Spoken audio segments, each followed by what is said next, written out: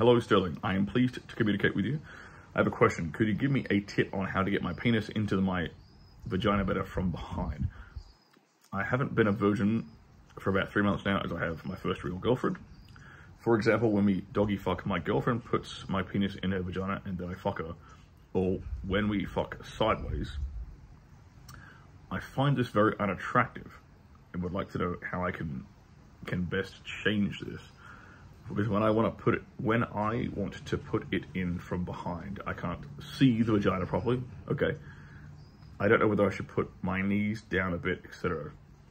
Um, feel with your, you can feel with your fingers first. Right? So let's say doggy style or missionary, like if she was in doggy style in front of you, right? You could lean in, like lean, like she's on her hands and knees, yes?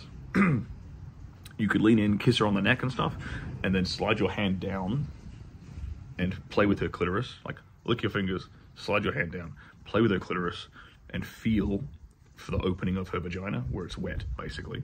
That's the opening of the vagina, right? And then you can lick on your finger, lick your fingers, wet the tip of your dick, so you guys add a, bit, add a bit of lubricant, and then put it in the same position. Slide it, slide it in that same spot. The cheat code, if you don't know where the vagina is and it's, and it's dark, right, because you can't see it, yeah, is to use your fingers to guide and find it first, and use that as an excuse to just play with her clitoris and provide. It's, it's not like you're poking around in the dark for something.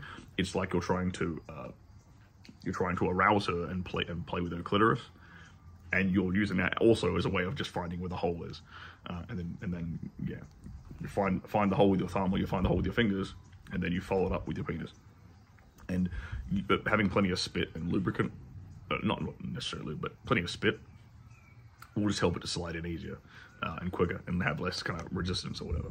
Because um, if she's not highly aroused, like you could be you could be hurting her on the first bit of penetration if you if there's not any kind of lubrication at all. Um, I think that uh, I think that answers your question. Obviously, there's a little bit of language barrier, but yeah. So your girlfriend puts her penis in, and that's fine. But when you put it in, you can't see it. Yeah, yeah. You also want to try and you can also feel for it with your dick. It's also kind of teasing too. So you could like you can just like if you bent over in doggy style, you can just pretend like you're teasing her and just run the, the, the head of your penis like up and down, like you know between her legs at the back there.